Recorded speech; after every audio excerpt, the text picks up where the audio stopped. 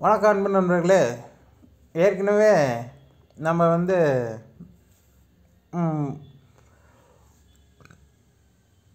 Field இடங்களில் எப்படி entry போகிறது அது மூலயமா மாதவாரி பயிர் இருபத்தி அஞ்சு தேதியில் சாகுபடி மீட்டிங் அப்போது எப்படி கொடுக்கறதுன்றதை பற்றி பார்த்துருந்தோம். இப்போ வந்து அதில் ஊடு பயிர் எப்படி போடலான்றதை பார்க்கலாம். ஊடு பயிர் போடுறதை பற்றி கேட்டிருந்தாங்க சிலர். அது கூகுள் ஷீட்ஸ் போயிங்க. நீங்கள் அப்லோட் பண்ண அந்த ஃபைலை ஓப்பன் பண்ணிங்க. பழைய மாதிரியே தான் எங்கன்னா வச்சு கிரியேட் ஃபில்டர் கொடுங்க. அது ஃபில்டர் ஒரு முறை குத்து வச்சிட்டிங்கன்னா அப்படியே கூட இருக்கும். நான் உங்களுக்காக திருப்பி சொல்கிறேன் இப்போது இதில் யாருன்னா பட்டா நம்பர் இரநூத்தி எட்டில் இருக்கிறவர் ஊடு பயிர் போடுவார். அதனால் கிளியர் குத்திங்கன்னா எல்லாம் கிளியர் ஆகிடும் அதில் இரநூத்தி எட்டு அப்படின்னு அடித்து அதை மட்டும் செலக்ட் பண்ணிங்க. பிச்சை. ஓகேங்களா? அவர் தான் ஊடு பயிர் போடுறவர். அவர் நூற்றி எண்பதில் டியூக்கு டூ கியூ பார்த்திங்கன்னா ஒரு ஹெக்டர் ஐம்பத்தி ஒம்பது இயர்ஸ் வரும். அதில் அவர் கத்திரி அவரை பீர்க்கை நெல் எல்லாம் போடுறாரு. ஊடு பயிர் போடுறதுனா என்னென்னா இது மட்டும்தான் ஒன்று தான் இருக்கும் உங்களுக்கு. இதெல்லாம் வந்து எக்ஸ்ட்ரா இப்போ நான் க்ரியேட் பண்ணது. இது எப்படின்னா இங்கே வச்சிங்க. எங் அந்த எந்த சர்வே நம்பரில் இது பண்ணுமோ அங்கே வச்சிங்கன்னு இங்கே வந்து ஒரு கீழே பாட்டம் ரைட் சைட் பாட்டத்தில் ப்ளஸ்ஸு அப்படின்னு ஒரு ரோ செலக்ட் ஆகிற மாதிரி இருக்கு பாருங்கள் அதை கிளிக் பண்ணிங்கன்னா ஒரு ரோ வரும். ஓகேங்களா இன்னொன்று என்னென்னா மேலேயே கூட ப்ளஸ்ன்னு ஒன்று வரும். அதை கிளிக் பண்ணிவிட்டு இன்செர்ட் ரோ அப்போ ரோ பிலோ அப்படின்னு இருக்கும். அந்த ரோவை செலக்ட் பண்ணிங்கன்னா. ஓகேங்களா? அதில் ரோ பிலோ செலக்ட் பண்ணிக்கலாம். பண்ணிவிட்டு இதை அப்படியே காப்பி பண்ணி அந்த இதுவாண்ட அந்த ரோ நம்பராண்ட வச்சு டேப் பண்ணிங்கன்னா காப்பின்னு வரும்.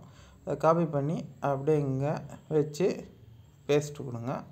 இது வந்து அந்த டேபிள்குள்ளேயே இருக்கிறதுனால இது வந்து தன்னால் அந்த பிவைட் டேபிளில் கால்குலேட் ஆகும். நீங்கள் அது ரேஞ்சு மாறிடுமாலாம் கவலைப்பட வேணாம். நீங்கள் பார்த்தீங்கன்னா அது அப்படியே காப்பி ஆயிடுச்சிங்களா? இப்போ இந்த ஏரியா தான் நீங்கள் குறைக்கணும். அதனால் இது பத்து கத்திரின்றது அப்படியே காப்பி ஆகி வந்துட்டு இருக்குது இதில் இப்போ ஒரு ஒரு பத்தாம் மாதம் கத்திரி மட்டும் இல்லாமல் வெண்டையும் போட்டுக்கிறாரு. அப்படின்னா வெண்டை.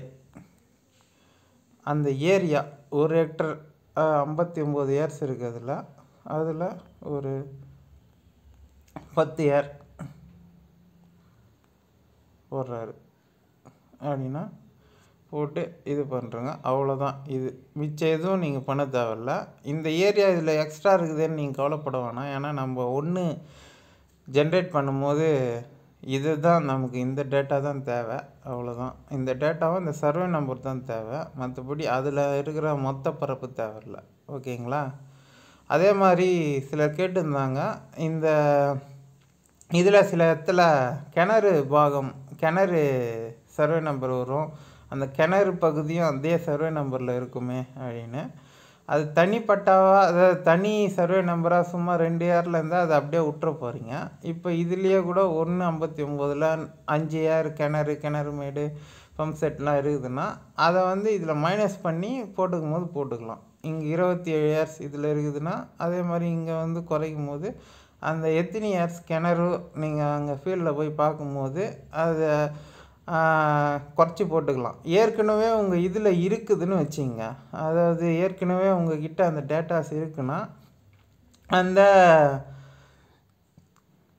டேட்டாஸ் வந்து எந்தெந்த சர்வே நம்பர்லேயோ அந்தந்த சர்வே நம்பருக்கு நேராக கிணறுன்ட்டு ஒரு காலம் உருவாக்கி அதை அடித்து வச்சுட்டிங்கன்னா நம்ம அந்த கம்ப்யூட்டரில் உருவாக்கும் போது அந்த காலமையும் பரப்பையும் கழிச்சிட்டு வர ஏரியாவை இங்கே போட்டுக்கினிங்கன்னா தன்னாலேயே அப்பயே குறைஞ்சா மாதிரி இருக்கும் அது. அப்படியே இது பண்ணிக்கலாம். ஓகேங்களா? நான் ஏற்கனவே அந்த இதுலேயும் பிசியில் அந்த ஃபீல்டு இடங்கள் உருவாக்கும் போது அதை பற்றி சொல்லிக்கிறேன்.